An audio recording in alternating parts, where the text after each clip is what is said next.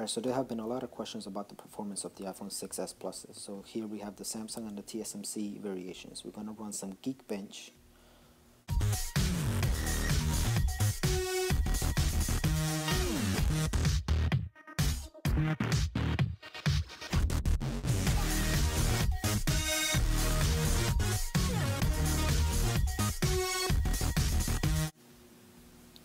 Alright, so the Samsung is going to be the one on the left and the TSMC is going to be on the right.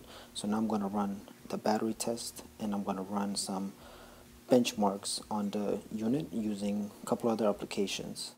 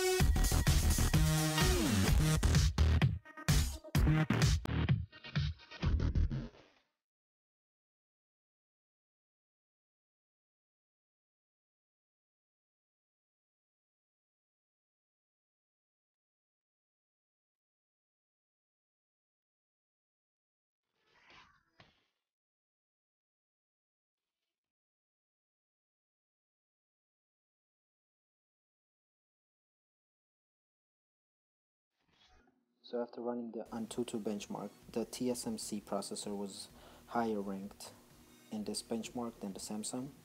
So next one we're running the 3D Mark.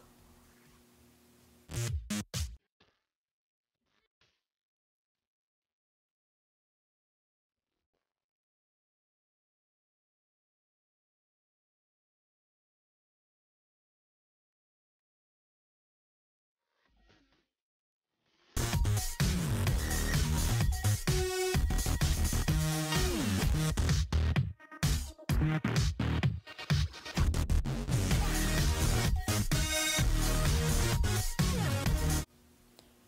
after running the 3D Mark, the Samsung has a higher score than the TSMC processor, but both devices perform pretty well.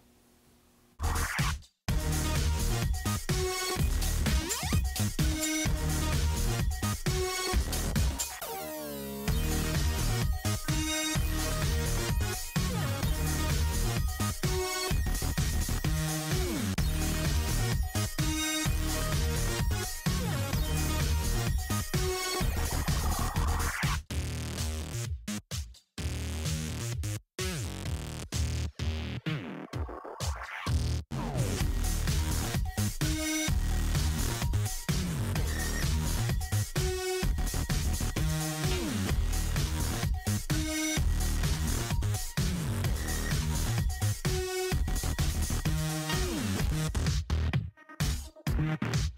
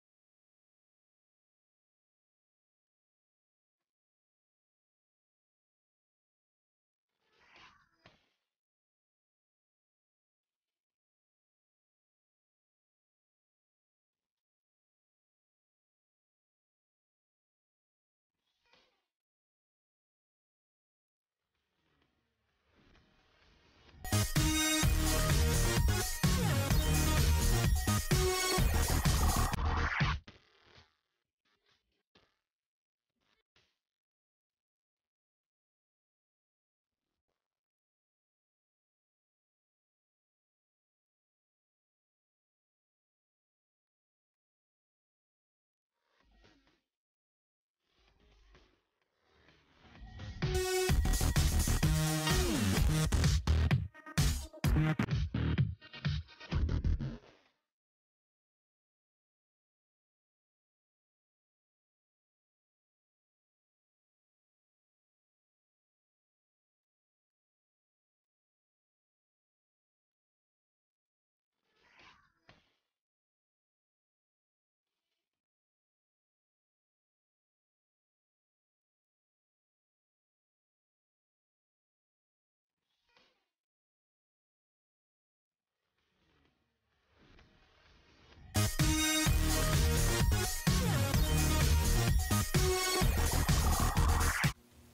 I'm going to run the performance test mobile.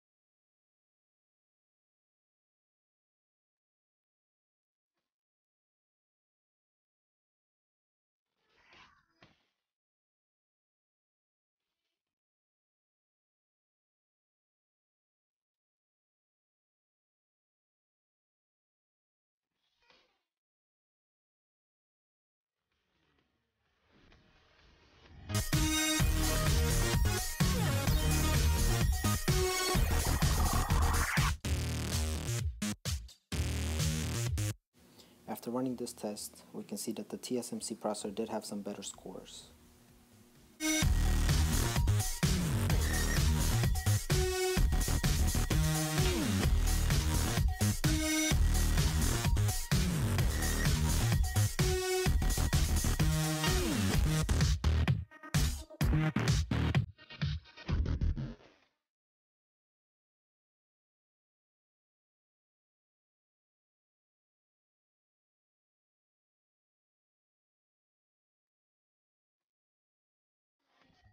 Next test, I want to run the speed test. They're both connected on the same Wi-Fi. I just want to see if there's a variation.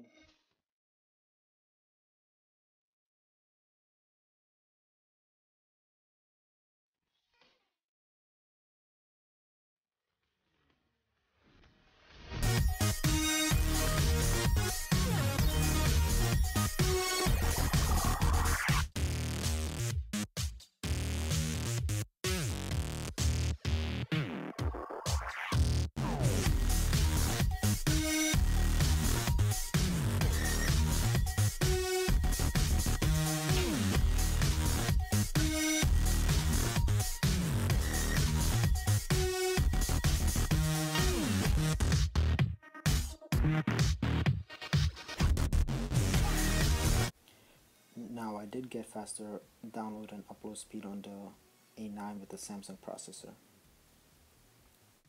Now after running all of these tests I'm going to go back to Geekbench to check the battery percentage.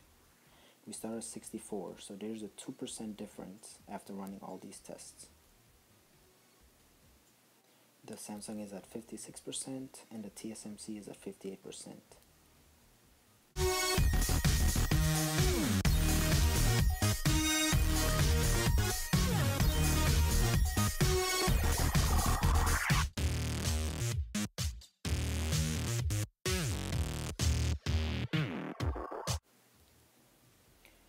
Geekbench does give both of the devices a 127 battery score.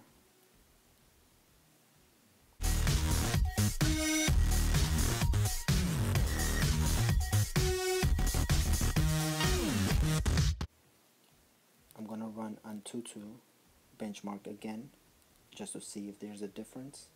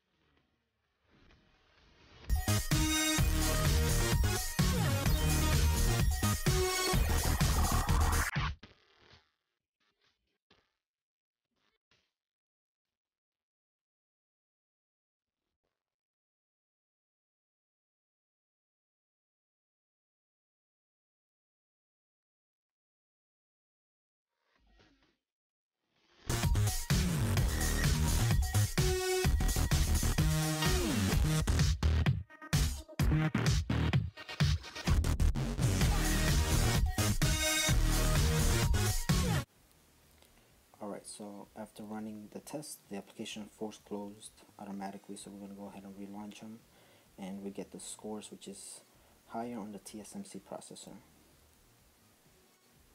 So after running that test, I'm going to run a Geekbench test again, just to see if there's a difference after running all of the previous tests.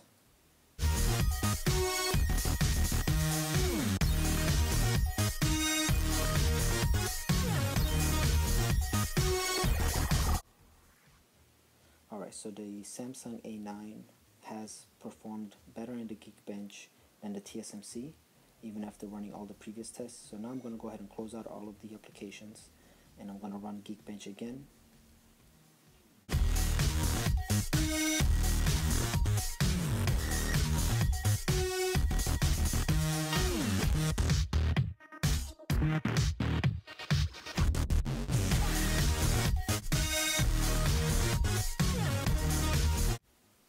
So after running the final Geekbench test, the Samsung A9 does score higher than the TSMC. Now both of the devices were rebooted prior to running the test. They were connected to the same Wi-Fi and in airplane mode. So after running all of these tests, the Samsung device did run a little bit warmer than the TSMC, but nothing that's too noticeable. So I've been using both of these iPhones for the last two weeks, and for day-to-day -day use, the battery has been on par with each other, and so has the performance. Running normal applications, there was not variations where it's actually noticeable. So if you have either the Samsung or the TSMC processor, you should be fine because you still have the fastest device on the market.